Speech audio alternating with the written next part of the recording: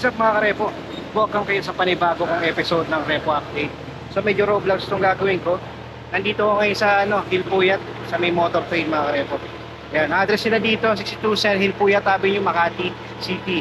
Yung number lang nila, lalagay ko sa description mga karepo. No? Tsaka sa comment section na rin. So, papasok ako dito sa ah, kung saan nandun yung mga reposes nila mga karepo. Yan, medyo madilim nga lang. Medyo hapon na kasi ako nagpunta dito. Ayan. So kaya pwede ilagay itong helmet. Lagay ko muna dito yung helmet.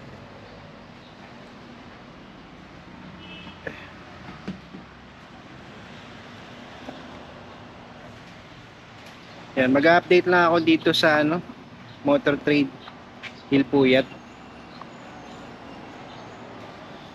Alright mga karepo, so yung mga repo nila dito yan.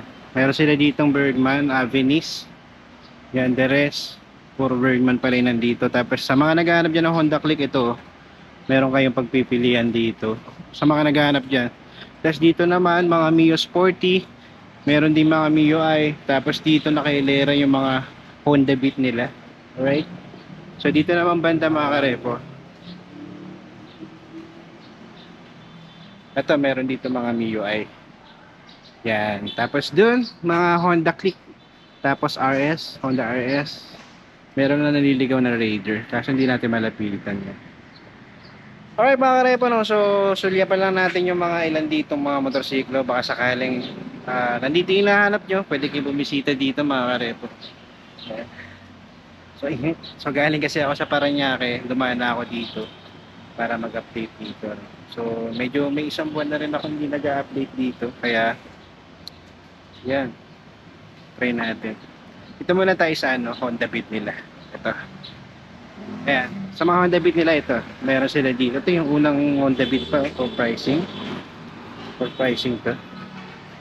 Yan. Comment down below kung anong Honda Beat to. Ito ba yung version 1 o wala kasi akong idea kung anong Honda Beat to, no? So, yan. FI siya. Okay, so yan sa mga naghahanap ng Honda Beat dyan ito. Ang price range nila, ito meron silang 43,857. Tapos sa monthly is 2,595. Tapos ito 67,394. Tapos ito 57,411. Tapos ito 57,222. Okay, so ito naman 44,991. Tapos ito 60,000. Tapos ito 67. Ito na natin pinakamura. 44,000. Ayan. So, medyo sasaglitan ko lang mga karepo no, para mabilis tayo. Okay, so sa mga naghahanap dyan ng Honda Beat, eto, meron sila dito. Okay, check nga din natin kung meron doon mga ano, iba pang motor. Ewan kung may repo pa rito. Hindi ko alam kung mga repo tong mga nandito o nakikiparada lang. Okay, so di tayo sure. Di madilim dito. Yan. So dito naman mga karepo sa mga naghahanap dyan ng Honda Click. Ito. Honda Click 125 version 2. Meron din silang version 3 dito. Yan. Kaya lang may issue siya dito sa ano, sa fairings siya sa harap. ah, Pati sa ah, ilaw niya. Basag na yung lens. Pero the rest ito dito. Tapos sa price range nila is nasa 51,789. Sa monthly 2,974. Right? So, check natin iba. Ito naman, 64,940. Tapos sa monthly nito is nasa 3,603. Tapos ito, meron dito ano, version 3. Ito medyo okay pa. Kulay blue. So, ang cash price niya is nasa 79,619. Tapos sa monthly niya is nasa 4,304. So, ito maganda. Zero down payment siya mga karepo.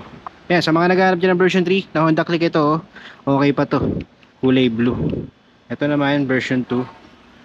Tapos 64,940 sa monthly nito is nasa 3,603. Yan. Sa mga naghahanap dyan ng Honda Click, ito. Pwede nyo pagpilian to mga karepo. Sa naghahanap naman ng Honda Click 1, 2.5 na version 3, ayun sa dulo meron. Dito naman, ito Bergman. Sa mga naghahanap ng Bergman dyan, ito, meron sila dito. May kulay puti, may black, tapos may white, tapos doon meron blue. Wala nga ng price na nakalagay no, itong isa, wala rin. Tapos sa Abinis naman, nag- sa naghahanap naman ng Abinis ito, meron sila dito. Yan. Ito, okay pa yung kondisyon nito. Wala na siyang price mga karepo. So, yung iba meron. Nag, naglalaro yung price niya sa pa- 50,000. Ito naman yung size 60. Ay, Honda Beat pala yun.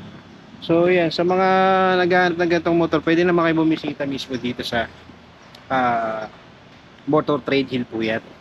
Lalagay ko lang dyan yung address nila tsaka yung contact number nila para kung sakaling ano, malayo kayo, pwede kayo tumawag muna.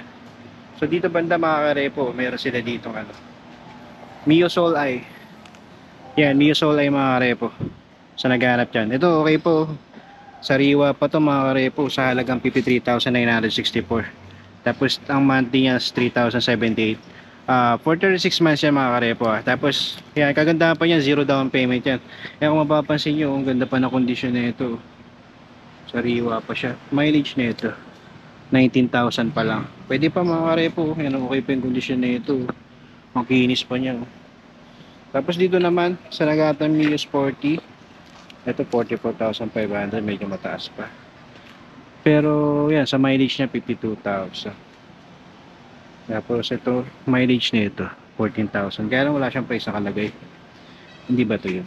Check na natin to. Ah, 125 na nakalagay. Baka sa MIUI yan. Okay, yan MIUI. Mileage na ito 13,000 tong Scion, no? Okay, so dito naman spor- sporty, magenta. Mileage na ito is nasa 13,000. So, okay pa mga karepo. So, yan, sa mga naghahanap dyan ng sporty, MIUI 125 ito, meron kayong pagpipilian dito. Meron pang Mio Soleil dito. Yan, tapos ang pa ba? Check natin mga karepo. Medyo Roblox na itong ginawa ko. Hindi na ako mag-edit-edit dito. Para isang upload na lang. Diretso upload na lang. So, ito pala, Honda Beat, napakita ko na, no? Sa baba. Ito, meron sila ditong ah, Su- Suzuki Skydrive Sports, ay ano, ah, crossover. Ayan, sa price niya is 59,840.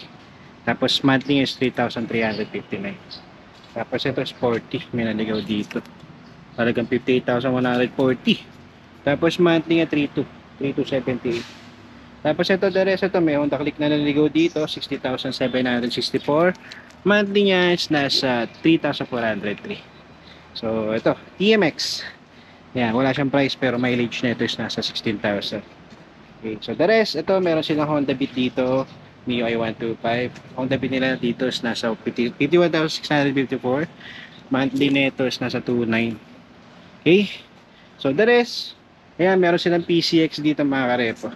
Sa mga naghahanap dyan ng PCX, ito meron sila dito. Ah, Hindi ko alam kung may presyo to kasi nakatalikod siya eh. Yan o.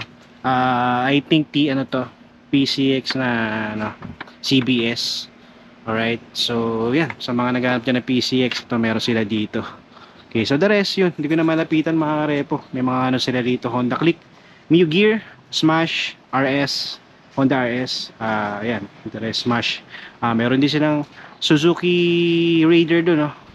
na ah, FI. Tapos yun, Bergman, tapos Honda Dio. Alright? So yun mga karepo, no, sinaglitan ko lang tong ah, ah, branch nila dito sa Motor Trade Hill Puyat. So, sakaling may magustuhan mga kayo dito, sakaling naghahanap kayo, pwede kayong tumingin dito. Baka may makita kayo na magugustuhan niya.